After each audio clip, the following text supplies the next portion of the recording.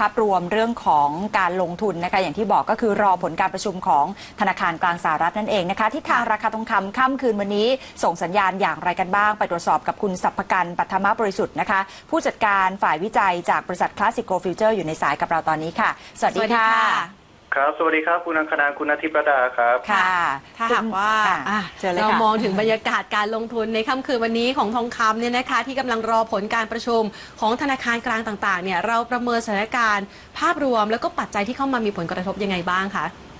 เอ่อคืนนี้เอ่อตัวราคาทองคำเนี่ยได้รับผลกระทบทางลบเล็กน้อยนะครับ ค่ะ จากเอ่อตัวเลขเศรษฐกิจของสหรัฐที่เพิ่งออกมาเมื่อช่วงประมาณสามทุ่มนะครับ ก็คือเอ่อยอด ขายบ้านที่เรามีอะไรเปลี่ยนแปลง โดยที่เอ่อคาดว่าตัวเจเน็ตเยเลนหรือประธานเฟดเนี่ยจะออกมาตอกย้ำคำเดิมๆก็คือเอ่อยังคงกังวลต่อเศรษฐกิจสหรัฐที่มีการฟื้นตัวแบบไม่ได้แข็งเติบเพราะว่าหลังจากที่เฟดออกมาเนี่ยอืมเอ่อจะจะมีช่วงก่อนเปิดตลาดในช่วงเช้าของเอเชียเนี่ยที่สามารถสวิงได้ในช่วงที่วอลุ่มค่อนข้างต่ำมากนะครับค่ะเพราะฉะนั้นเนี่ยแนวต้านถัดไปเนี่ยก็จะกระโดดไปเป็น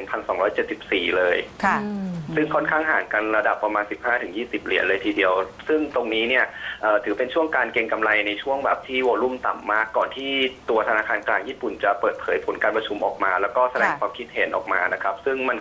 ค่อนข้างขัดแย้งกัน เนื่องจากว่าเอ่อการที่เฟดคงดอกเบี้ยเนี่ยจะเป็นผลลบต่อดอลลาร์สหรัฐให้อ่อน แล้วเป็นค่ะผลบวกต่อราคาทองคำแต่ว่าค่ะที่นี้ตลาดคาดการณ์ว่าแบงก์ชาติญี่ปุ่นเนี่ยจะออกมาบอกว่าเอ่อ จะผ่อนคลายนโยบายการเงินเพิ่มเติมอีกระลอกหนึ่งนะครับ ถ้าหากออกมาตามคาดจริงๆเนี่ยจะส่งผลให้เยนอ่อนค่า ซึ่งจะทำให้ดอลลาร์สหรัฐแข็งค่า แล้วก็เป็นผลลบต่อราคาทองคำเพราะฉะนั้นเนี่ยควรระวังความผันผวนที่ค่อนข้างสูงอ่าตั้งแต่คืนนี้จนถึงวันพรุ่งนี้เลยหลังจากที่ BOJ ประกาศผลออกมานะครับ ค่ะค่ะได้เลยค่ะ วันนี้ขอบพระคุณมากนะคะ